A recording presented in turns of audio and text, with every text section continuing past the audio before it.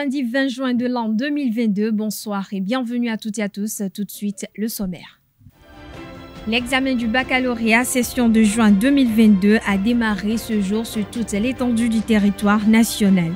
Répartis dans 133 centres, euh, ils sont au total 77 416 candidats inscrits sur tout le territoire national. À suivre dans cette édition, les impressions de quelques candidats après les premières compositions. Le programme alimentaire mondial PAM a ouvert ce lundi 20 juin 2022 à Rome en Italie les travaux de son conseil d'administration.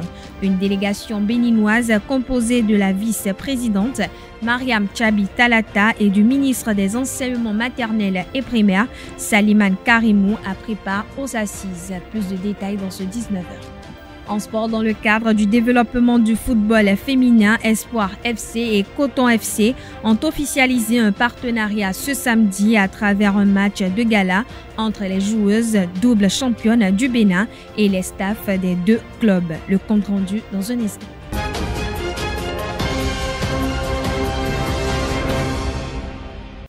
De nouveau, bonsoir. Merci de nous préférer pour vous informer. Je l'annonçais au sommaire de cette édition. L'examen du baccalauréat, session de juin 2022, a démarré ce jour sur toute l'étendue du territoire national. Du nord au sud, les élèves en classe de terminale ont composé les, premières épreuves. Pardon. Au total, 77 416 candidats sont répartis dans 133 centres pour la session de juin 2022. Au CEG Saint-Rita, les candidats ont donné leurs impressions après les compositions des premières épreuves. Suivons-les au micro de Anel Do. C'était très bien. Bon, euh, le sujet était abordable. Euh, on a pu s'en sortir. Pour moi, ça a été abordable. C'était, c'était, c'était relax. On a composé français. Français, il y avait trois sujets de contraction, de commentaires et de dissertation. J'avais pris le sujet de contraction parce que c'est ce qui me semblait le plus abordable. Il y avait, il y avait trois sujets. Bon, euh, deux sujets portaient sur le sous-développement. et il y a un autre sujet qui, bon, qui portait sur un truc épique, quoi. Un peu comme euh, le truc euh, romancier, tout ça. Moi, personnellement, j'ai composé une dissertation. Dissertation. Bon, c'est ce que je fais d'habitude, donc je n'ai pas le choix, c'est ça que j'ai fait. Pour les épreuves de ce matin, c'était français. maintenant, il y avait trois sujets au choix. Il y avait contraction de test, dissertation et plus commentaire. Moi, j'ai pris la contraction de test parce que j'ai trouvé ça plus abordable que tous les autres. C'était basé sur la, la, valorisation des cultures endogènes et euh, de plus s'appuyer sur la formation euh, technique et manuelle que la formation professionnelle et intellectuelle. Effectivement, en Afrique, on néglige beaucoup les, les formations manuelles et techniques au profit des autres euh, formations euh, où on étudie la biologie, la philosophie, mais ça ne développe pas le pays en fait. Je crois bien que ça a changé ma mentalité, ça va me pousser à plus m'investir du côté euh, manuel et technique. J'ai fait le dernier sujet, qui était le sujet 3. Bon, ça portait principalement sur le sous-développement en Afrique. Donc j'ai pu m'en sortir parce que j'avais plein d'idées là. Quoi. Donc euh, j'avais assez, assez d'idées là, donc euh, je suis sûr de pouvoir m'en sortir à la fin. Le programme alimentaire mondial PAM a ouvert ce lundi 20 juin 2022 à Rome en Italie les travaux de son conseil d'administration.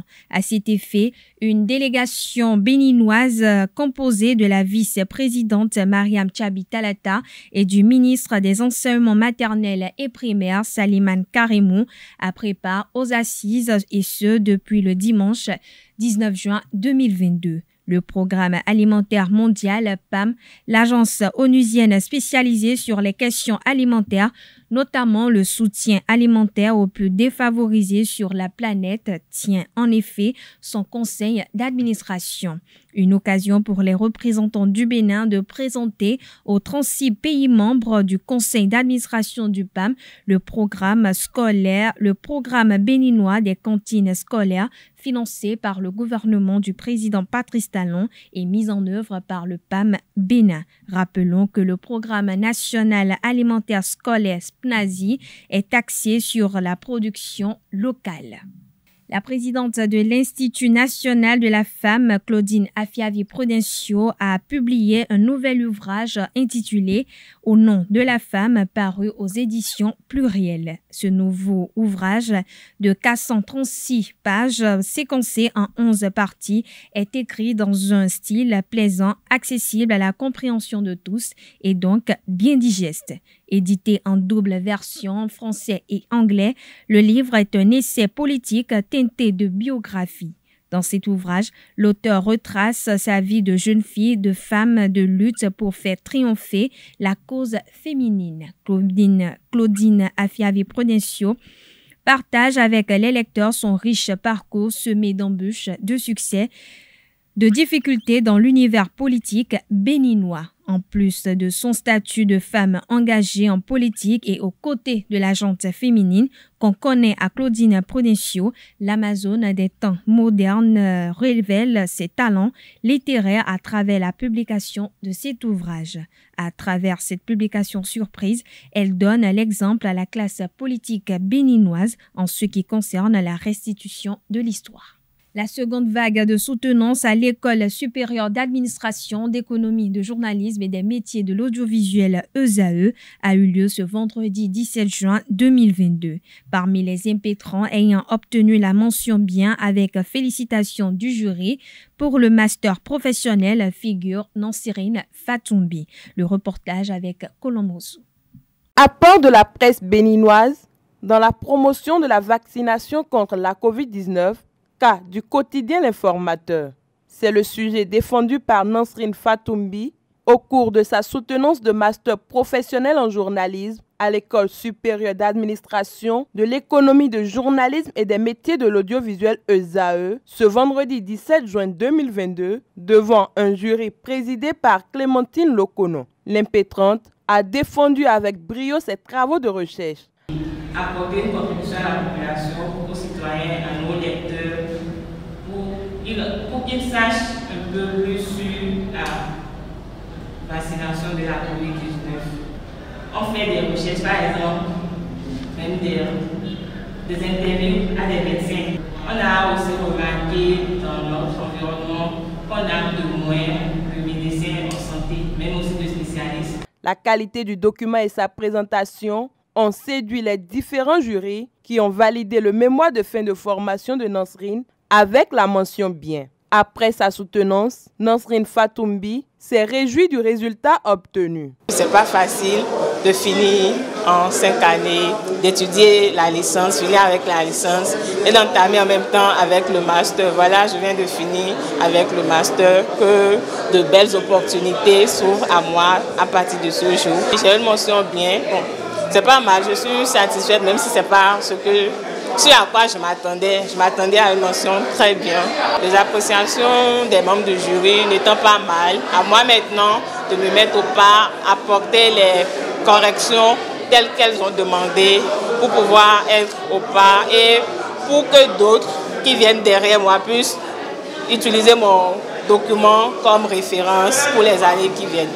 Donc maintenant, ça reste les armées nationales. Je prie que le Tout-Puissant m'assiste pour que ça se passe aussi bien comme ce jour-ci. Les regards sont désormais tournés vers l'examen national. Un nouveau défi à relever pour l'impétrante. Dans le même registre, Olive Marouena à a planché pour la licence professionnelle. Elle a effectué ses recherches sur le code du numérique et l'exercice du journalisme en République du Bénin, car du journaliste Ignace Soso. Olive Marouena à s'en sort avec la mention bien. Élément signé Colombe Ousso.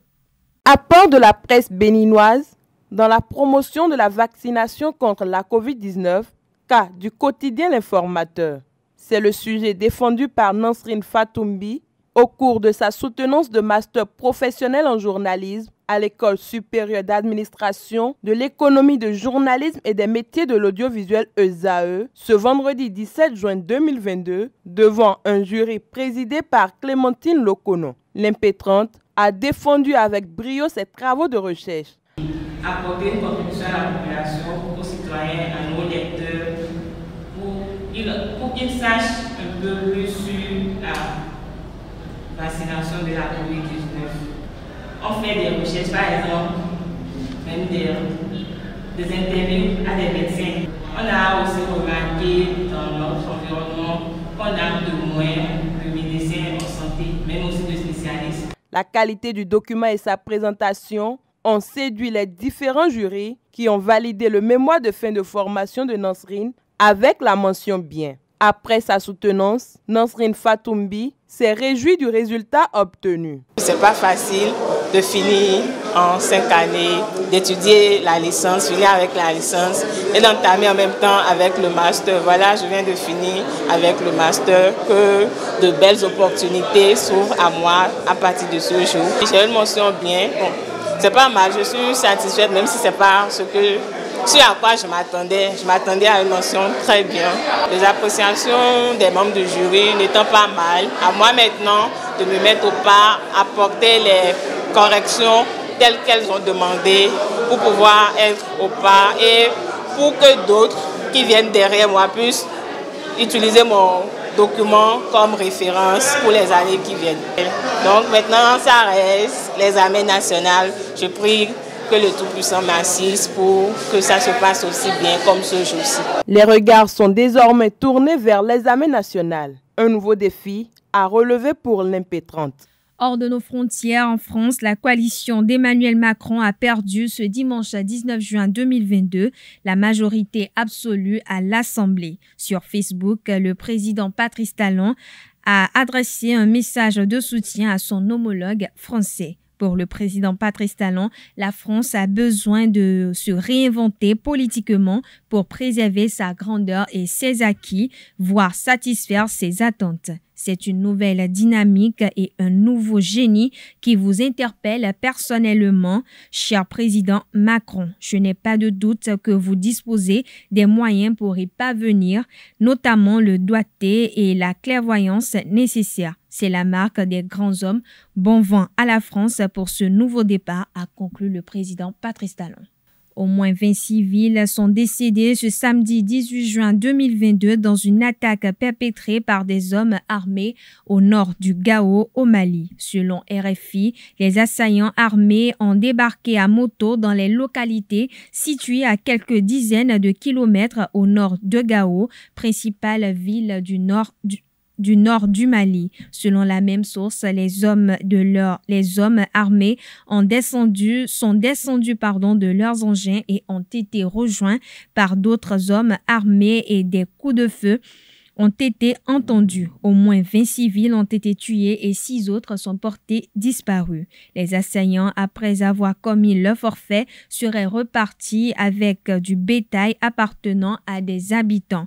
La peur a gagné les populations au lendemain de cette attaque au point où une partie de la population civile a pris la direction du sud. Plusieurs centaines de personnes sont désormais regroupées pour sans défense sur un site d'hébergement et ont lancé un appel aux autorités.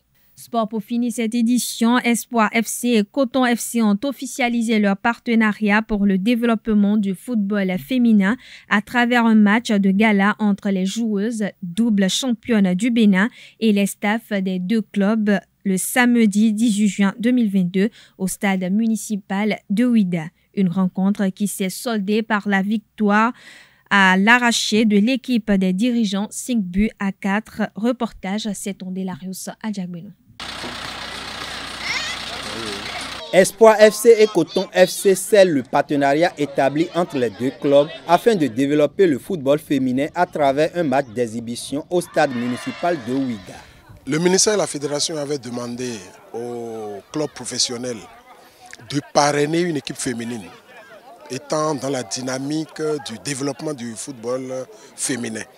Alors nous avons eu la chance d'être parrainés par Coton. C'est pour cette raison qu'à la fin de la saison, nous avons voulu que le staff de Coton, joint au staff de Espoir, joue un match de gala contre les filles, juste pour les féliciter, parce qu'elles ont une deuxième fois réédité l'espoir. Pour nous de se retrouver comme ça et de faire un petit match euh, contre l'équipe féminine, c'est sûr que bon, ça, déjà ça fait plaisir. Puis ensuite, bon, ben, ça nous permet aussi d'évacuer un petit peu une saison qui a été longue et stressante. Et puis ben, de retrouver le terrain, de pouvoir s'amuser un petit peu, de jouer et tout. Euh, ça amène un petit peu aussi euh, un peu plus de connaissances aussi parce que bon, euh, c'est vrai que ces deux clubs, on est assez éloignés, mais en fin de compte, c'est deux, deux, clubs qui sont très proches les uns des autres. Et puis c'était bien de fêter aussi le fait que bon, les féminines soient championnes, nous on est champions. Voilà, c'est bien de se rassembler, de faire une fête comme aujourd'hui. Avec 13 victoires et 5 nuls en 18 journées lors de la saison 2021-2022, Espoir FC est sur une série d'invincibilité de 36 matchs sans défaite. Dans le duel contre les dirigeants, l'expérience a eu raison de Leila Afo et ses coéquipières. Elles se sont inclinées 4 buts contre 5 après avoir mené 4-2 à la mi-temps. Tous ceux qui entourent Espoir ou Coton ont une fois pratiqué le football. Certes, nous n'avons pas les conditions physiques comme les, les filles, mais l'expérience est là. Vous-même, vous, avez constaté avec euh, le public.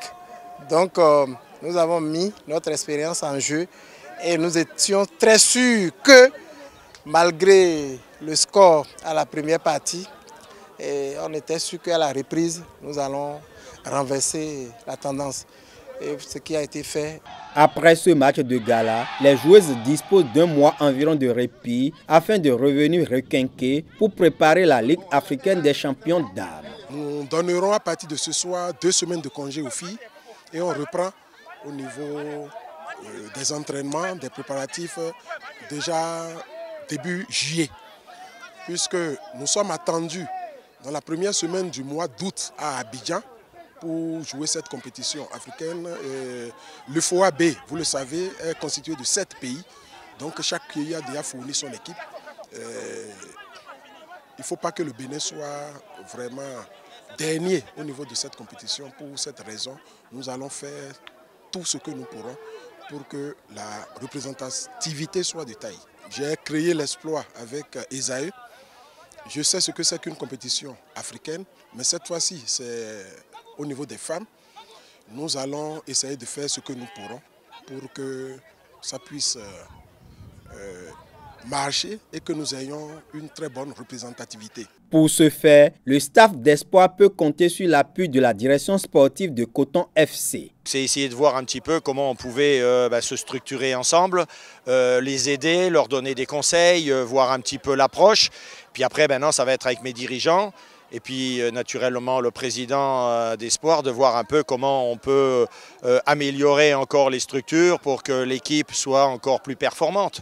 Voilà, donc essayer de, retrouver ce que l'on a mis chez nous, c'est-à-dire peut-être faire venir un kiné pour eux au, quotidien, peut-être aussi leur apporter plus de matériel pour travailler, leur apporter aussi des équipements parce que bon, quand tu représentes le Bénin et que tu es champion, tu dois avoir une certaine structure et, donc euh, avoir une image de marque. Et je pense que de ce côté-là, il faudra un petit peu euh, les aider et voir un petit peu comment on peut s'améliorer encore un peu plus.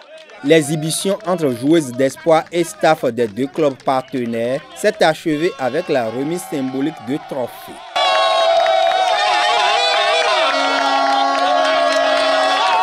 Voilà, chers internautes, c'est tout pour cette édition. Merci pour votre attention et à très bientôt.